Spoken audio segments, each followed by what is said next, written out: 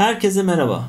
Bildiğiniz gibi son zamanlarda çok can sıkıcı ve kadına yönelik olaylar aldı başını gitti. Bunun üzerine bir tartışma çıktı ortaya. Bize zarar verebilecek insanları hayatımıza almadan önce tanımak ve analiz etmek mümkün mü? İnsan bu. Neyi ne zaman yapacağı hiç belli olmaz. Ama dikkatli ve hassas olunması gereken bir konu olduğu da kesin. Bana gelen çok mesaj var. Çok ağlattı, çok üzdü beni diye. Bu da gösteriyor ki şiddetin illa fiziksel olmasına gerek yok. Duygusal şiddet de çok ön planda. Fiziksel olmasına gerek yok dedik ya. O yüzden bu işin bir de erkekler cephesi var. Bu duruma maruz kalan erkeklerin sayısı da az değil. Bugün şöyle bir şey yapalım. En sık görülen örnekleri toplayıp bir analiz yapalım. Bir ilişkiye başlamadan önce ya da ilişkimiz esnasında ya da iş hayatımızda kendimizi korumamız gereken insanların ortak özelliklerinden bahsedelim madde madde. Başlamadan önce bugünkü konumuz gözlemlerden ve sık görülen örneklerden oluşmakta olup kesinlikle bir teşhis içermemektedir. Bu tarz şeyleri yaşadığınızı hissediyorsanız lütfen profesyonel bir destek alın ya da müracaatta bulunun. Önemli notumuzu söyledikten sonra da başlayalım.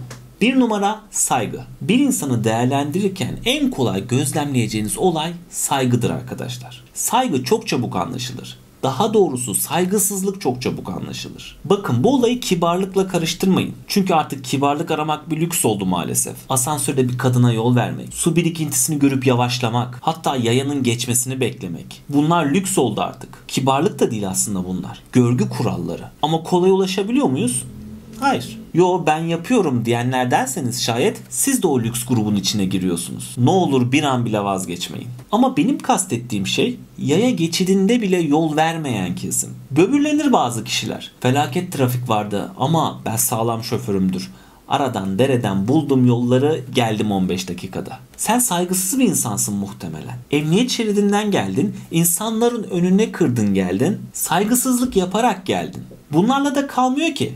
Başka bir örnek. Sevmiyor olabilirsin, korkuyor da olabilirsin. Doğal şeyler bunlar. Ama küçücük bir sokak hayvanını korkutmaya çalışıyorsan, sana hiç bulaşmadığı halde ona sataşıyorsan saygısız bir insansındır. Dediğim gibi saygısızlığı anlamak çok kolay. Saygısız olduğunu bile bile sırf sizi sevdiğini düşündüğünüz için karşınızdaki kişiye fazladan değer veriyorsanız o sevgi geçtiğinde size neler yapabilir bir düşünün derim. Hele o saygısızlıktan siz de nasibinizi alıyorsanız şayet bunu daha nerelere taşıyabilir onu da düşünün derim. Diğer maddemiz bencillik. Bencillik bir başkasının ya da karşısındaki kişinin duygularını, isteklerini önemsemeyen, sadece kendi istek ve gereksinimleri doğrultusunda hareket edilmesine denir. Yani yine çok çabuk anlaşılabilecek bir durum. Sizin düşüncelerinize önem vermeyen, kendi isteklerini sizin isteklerinizin önünde tutan bir karakter hayal edin. Ya da hayatınıza girdiyse hatırlayın. Bu yapıdaki kişi size mutluluk verebilir mi? Karıştırılan bir kavram. Ben ya da benim tarzımdaki insanlar başlıca bir öğüt verir. Kendinizi önemseyin.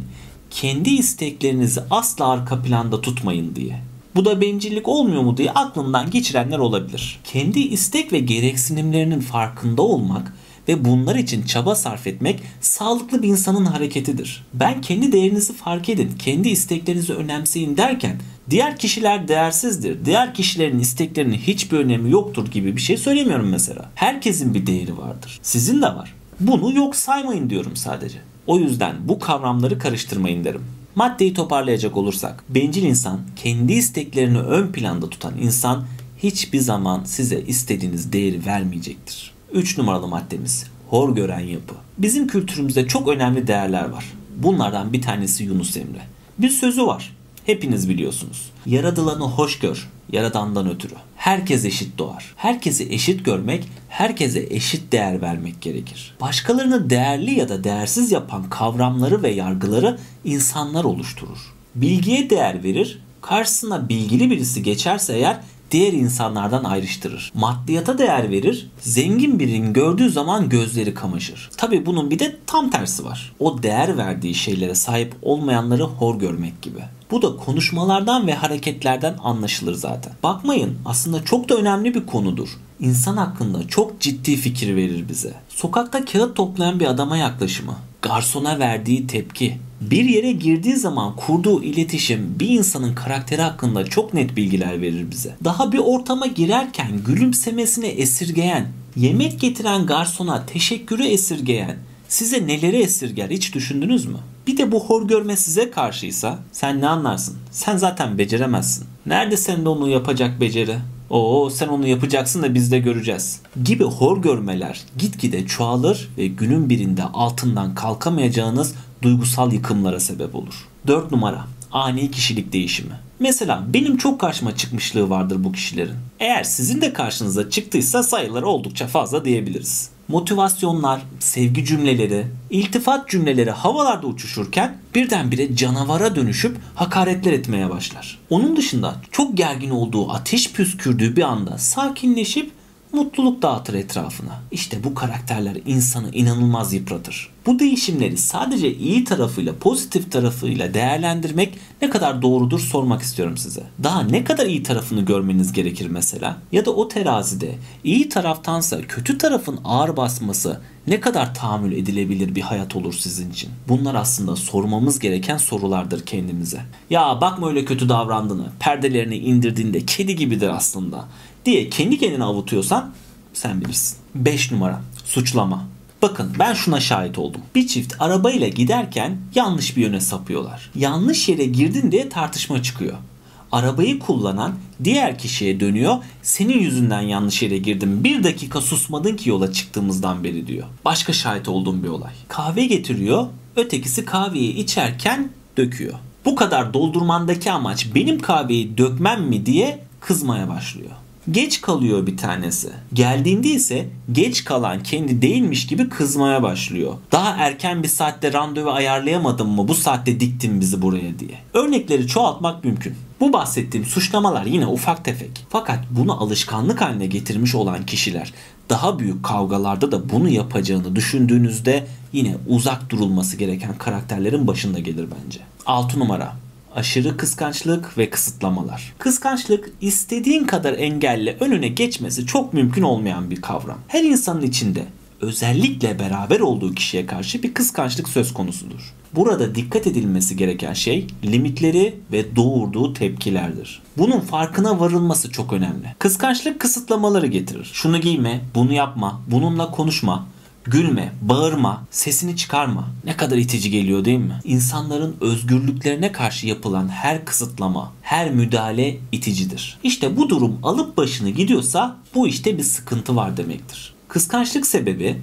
birinin çalışmasını istememek, birinin okumasına karşı çıkmak gibi hakkı doğurmamaktadır mesela. Dedik ya işin bir de doğurduğu tepkiler var en dikkat edilmesi gereken konu aslında bu doğurduğu tepkiler. Şimdi işin tatsız kısımlarını sıralamayalım. Ama şunu özellikle belirtelim. Kıskançlık mazeretinin arkasına hiçbir tepki sığdırılamaz. Hakkı olan özgürlüğü kıskançlık adı altında sınırlandıramaz. Özel ve gizli tutmak istediği hayatı ifşalayamaz. Çünkü günümüzü baz alırsak yeni etkenler giriyor hayatımıza. Sosyal medya hesabının şifresini, telefonun şifresini sevgiliye vermek mesela. Ne olacak canım biz sevgiliyiz benden ne gizin saklım var? Hayırdır sakladığım bir şey mi var? Sorularının altında yatan o iğneleyici üslup aslında büyük şiddetlerden bir tanesidir. Kadın olsun erkek olsun fark etmez. İşin özü birisi özgürlüğünüzü ve haklarınızı kısıtlamaya kalkıyorsa aslında yanlış kişi olduğunu sinyalini size vermeye başlıyordur. 7 numara agresiflik. Sona sakladığım bu madde aslında çok ciddi dikkat etmemiz gereken bir durumu gösteriyor arkadaşlar. Agresiflik saldırgan olma durumudur. Yani kelime anlamı itibariyle apaçık ortada. Bir de pasif agresiflik vardır. Bu da öfkeyi düşmanca olmayan bir şekilde gösterme durumudur. Maskeleşmiş bir şeklidir yani. Yaşam stresi, sınav stresi, hayat stresi, ailedeki sıkıntılar gibi hafifletilmiş sebeplerle kabullenildiği gözükmektedir ki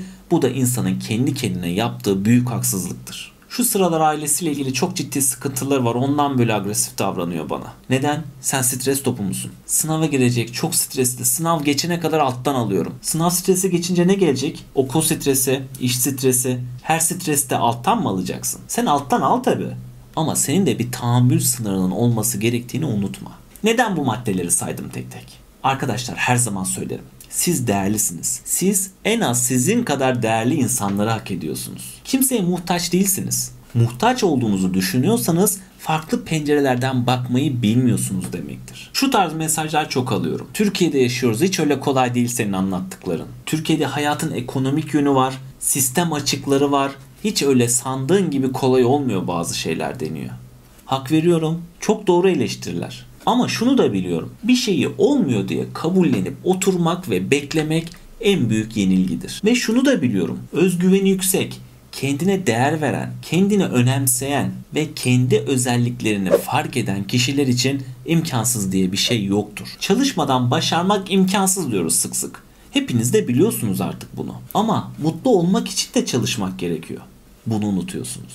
Videonun sonuna gelirken sizlere sormak istediğim bir soru var. Gerçekten hayatınıza almamanız gereken bir kişiyi hangi özelliklerine göre ayırıyorsunuz? Yorum kısmında lütfen paylaşın. Tekrar görüşene kadar kendinize göz kulak olun. Hoşçakalın.